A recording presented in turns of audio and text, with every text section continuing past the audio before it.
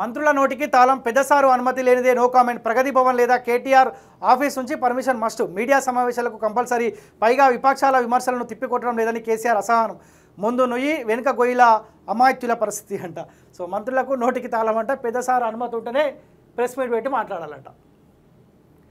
రాష్ట్రంలో మంత్రుల పరిస్థితి ముందు నొయ్యి వెనుక గొయ్యిలా తయారైంది. పెద్దసారి అనుమతి లేదే ఎవరిపైనైనా కామెంట్ చేయదు. ప్రతిపక్షాల విమర్శలను తిప్పికొట్టేందుకు మీడియా సమావేశాలు పెట్టాలంటే ప్రగతి భవన్ లేదా కేటీఆర్ ఆఫీస్ నుంచి పర్మిషన్ తప్పనిసరి. అలాంటప్పుడు విమర్శలను ఎలా తిప్పికొట్టాలి? ప్రభుత్వ పథకాలను ప్రజలకు ఎలా మీడియా ద్వారా తీసుకుపోవాలి? అర్థం కాక లోలోలన మదన పడుతున్నారు పైగా సమావేశాల్లో అధినేత రివర్స్లో మంత్రులపై మండిపడుతుందో ఏమి చేయలేక విన్న ఏం చేయలేక మిన్న కుండిపోతున్నారంట ఇప్పుడు ఈ మంత్రులు ఎమ్మెల్యేలు ఇంత ఇబ్బంది పడుతున్నారు. ఒక ప్రెస్ మీట్ పెట్టాలంటే కూడా కేటీఆర్ పర్మిషన్ కేసీఆర్ పర్మిషన్ కావాలంటే వీళ్ళ అవసరాలు దృష్టిలో పెట్టుకొని బీజేపీ కాంగ్రెస్ ఉమ్మడిగా కొట్లాడినారనుకో అంటే బీజేపీ ఉమ్మడిగా కాంగ్రెస్ ఉమ్మడిగా కొట్లాడినారనుకో ఈ ఈ ఇబ్బందులు పడుకుంటే అరే ఎందుకు నాయన ఈ బతుకు మనకని వేరే పార్టీ కండవ కప్పుకుంటారు కదా? మీరు చూడండి నిజ మీరు అబ్జర్వ్ చేయండి. నిజంగా చెప్తా ఉన్నా ఈటల రాజేందర్ కనుక తెలంగాణ రాష్ట్రంలో కీలక పగ్గాలు ఇచ్చి ఒక భరోసా కల్పిస్తే ఈటల రాజేందర్ నీకు నచ్చినట్టు ఎవరైనా జాయిన్ చేయించుకో. అధికారం తెలంగాణ రాష్ట్రంలో కావాలి. తెలంగాణ రాష్ట్ర ప్రజలు ఇబ్బందులు పడుతున్నారంటే ఆ భరోసా ఈటల రాజేందర్ గారికి ఇస్తే చాలామంది జాయిన్ అవుతారు. ఎట్లా జాయిన్ అవుతారు అంటే కేసీఆర్ దగ్గర పోతారు. అరే వద్దురా నాయన నీ పదవద్దు ఏమొద్దని చెప్పి ఎమ్మెల్యే టికెట్ ఆ ఎంపీ టికెట్ ఉంటాయి కదా ఆ మంత్రిపాలు ఇట్లా ఇసురు కొట్టి పోయి ఈటల రాజేందర్ సంఖ్యలో ఏరే అవకాశం ఉంటుంది. ఆ అవకాశం ఎందుకు వాడుకుంటలేరు? మీ పార్టీలో ఉన్న చాలామంది ఎన్ఎం శ్రీనివాస్ రెడ్డి కొండా విశ్వేశ్వరరెడ్డి లాంటి వాళ్ళే అంటా ఉన్నారు.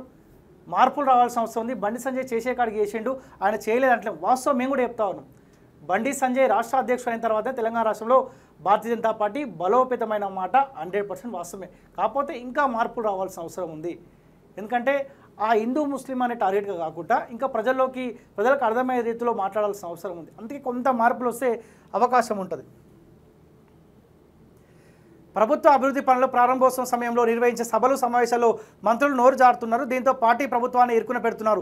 వాటిని ప్రతిపక్షాలు అస్త్రంగా చేసుకుని ప్రతి విమర్శలు చేస్తుండటంతో అధినేత మంత్రులను మందలిస్తున్న సందర్భాలు ఉన్నాయి. గతంలో మంత్రులు ఎర్రబెల్లి మల్లారెడ్డి నిరంజన్ రెడ్డి గంగుల తాజాగా తలసాని వివాదాస్పద వ్యాఖ్యలు చేయడంలో వాటిని కవర్ చేయడానికి నానా తంటాలు పడాల్సి వచ్చింది. మంత్రులపై ప్రతిపక్ష నేతలు వ్యక్తిగత విమర్శలు చేసినప్పుడు ప్రతిగా స్పందించిన అధిష్టానం తీవ్రంగా పరిగణిస్తోంది. మరోవైపు ప్రభుత్వం చేపడుతున్న సంక్షేమ పథకాలు అభివృద్ధిని మీడియా ద్వారా ఆశించిన మేర ఎందుకు ప్రచారం చేయడం లేదని బీఆర్ఎస్ లెజిస్లేటివ్ పార్టీ సమావేశంలో మంత్రులపై అధినేత అసహనం వ్యక్తం చేసినట్లు సమాచారం అంట.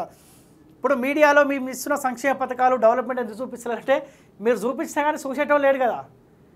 నీ సంక్షేమ పథకాలలో నీ దళిత బంధులో కమిషను నీ డబుల్ బెడ్రూమ్లో కమిషను ఏ కమిషన్ లేని పథకం ఏది ఉందో చెప్పరా ఇది ఉంది అని చెప్పు.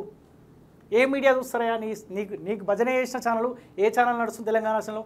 మాలాంటి ఛానల్స్ ప్రశ్నించే గొంతులని యూట్యూబ్ ఛానల్ని ప్రజలు చూస్తాం సోషల్ మీడియాని ప్రజలించుకున్నారు. ఎందుకు సోషల్ మీడియాని ప్రజలించుకున్నారంటే నీకు అనుసంధానంలో ఎలక్ట్రానిక్ మీడియా శాటిలైట్ ఛానల్ పనిచేస్తూ ఉన్నాయి కాబట్టి అంత ఫేక్తున్నాయి కాబట్టి ఆ ఛానల్ చూడట్లే. ఎందుకు వాడుకుంటలేరు మీడియా అని అంటే మీడియాని మీరు పైసలు ఇచ్చి వాడుకున్నారు చూసేటోడు గత ఉండడు అది గుర్తుపెట్టుకోరు. ముందు కాళ్ళకు బంధం వేసి పరిగెత్తారని అంటే ఎలా సాధ్యమని మంత్రులు ప్రశ్నిస్తున్నారు. ఎన్నికలకు ముందు ఆంక్షలను సడలిస్తే ప్రతిపక్షాల విమర్శలను అదే స్థాయిలో మీడియా ముందు తిప్పుకొడతామని అభిప్రాయం వ్యక్తం చేసినట్టు. సో మొత్తానికి మంత్రుల నోటికి తాళాలు వేసింది సార్. ఎందుకైనా మీరు బతికేందుకు ఆ పార్టీలో ఉండేందుకు? ఏ రేపు పొద్దుగాల పోయేటప్పుడు అంత సంపాదన మొత్తం తీసుకొని పోతారా?